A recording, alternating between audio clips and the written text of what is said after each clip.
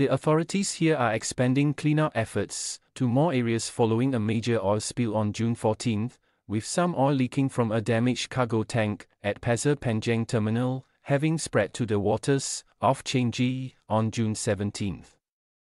As at June 17, some 1,500 m of booms have been deployed to contain the oil spill, with an additional 1,600 m to be deployed at several beaches on Sentosa Island and Labrador Nature Reserve by June 18, as well as at Southern Islands, according to a joint statement by the Maritime and Port Authority of Singapore, National Environment Agency NEA, National Parks Board NParks, National Water Agency PUB, Sentosa Development Corporation and Singapore Food Agency.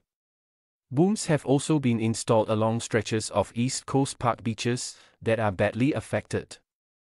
And at canal openings, to trap oil and prevent it from flowing back into the canal.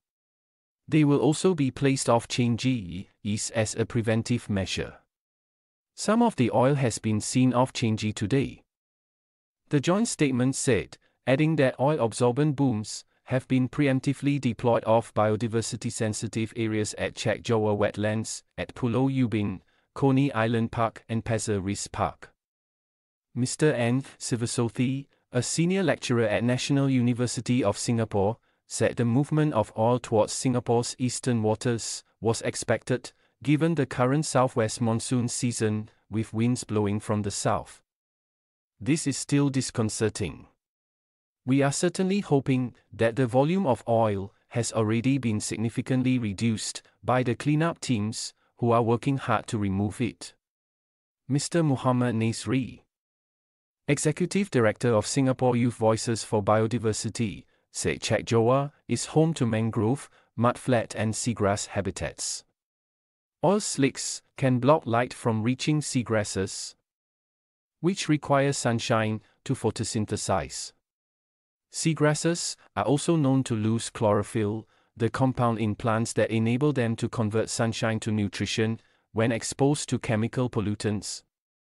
He said. If oil is deposited onto a sandy shoreline, the oiled up sand can be scooped up easily. But in mangrove habitats, if the oil goes in, it's not going to come out easily. He added. The authorities said additional containment and absorbent booms will be deployed over the next few days to protect fish farms at the East Johor Strait, Chek Jawa wetlands, and Changi Creek. A current buster system, a specialized oil floating containment and recovery device deployed from vessels, will be used on June 18 off the Changi Exhibition Center as a preemptive measure. Each system consists of a boom with a skirt that extends below the water surface to enclose and collect oil on the water surface. While West Coast Park is not affected, oil absorbent booms were also deployed at the park to protect the mangroves at the marsh garden. Said the statement. Mr. Sivasothi said it is encouraging to hear that the mitigation protocols have been activated. The early deployment will certainly help protect sensitive biodiversity areas and fish farms in the eastern Johor Strait. He said. On June 14, the Netherlands flag dredger Vox Maxima hit a stationary Singapore flag bunker vessel, Marine Honor, at Pasir Panjang Terminal. The dredger had suffered a sudden loss of engine and steering control. The impact created a rupture in one of the oil tanks of Marine Honor, causing oil to leak into the sea. Residents and visitors to the affected areas spoke of a strong smell of oil following the incident. NEA has been conducting daily tests since June 15 and found the air quality at affected areas around Sentosa, East Coast Park, and Labrador Nature Reserve to be well within safe levels so far according to the statement. Meanwhile, the public is advised to avoid swimming at Changi Beach or engage in other water activities there. To facilitate cleanup efforts, the following beaches will be closed until further notice.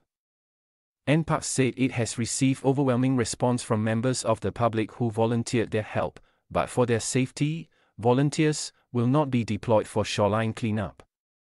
In a Facebook post on June 17, Minister for National Development Desmond Lee reminded the public to stay away from beachfronts, as the cleanup operations should be carried out by professionals. The MP for West Coast GRC also thanked volunteers who helped with patrols at East Coast Park and West Coast Park, as well as those who helped with surveys at Southern Islands over the weekend.